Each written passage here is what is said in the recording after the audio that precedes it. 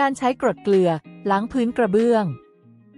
สวัสดีค่ะ วันนี้เรามาดูประโยชน์อีกอย่างของกรดเกลือกันค่ะ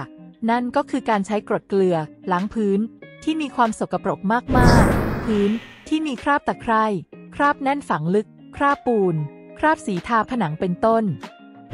ขั้นตอนการล้างพื้นด้วยน้ำยากรดเกลือ สิ่งที่ต้องเตรียม 1. กรดเกลือ 2-3 ส่วน 2. น้ำ10 ส่วน ผสมน้ำและกรดเกลือให้เข้ากัน ขั้นตอนการทำความสะอาด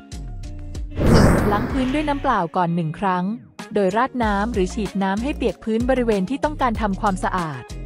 2. ใช้กรดเกลือที่เราผสมไว้กับน้ำ10 ส่วน มาเทราดบนกระเบื้อง หรือพื้นที่เราต้องการล้างได้เลย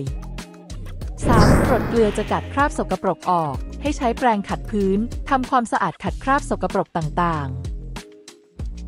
4. ล้างทำความสะอาดกรดเกลือด้วยน้ำเปล่าอีกรอบจนกว่าจะหมดกลิ่นและทิ้งไว้ให้แห้ง สอบถามเพิ่มเติมเกี่ยวกับกรดเกลือ แอดไลน์นี้ค่ะ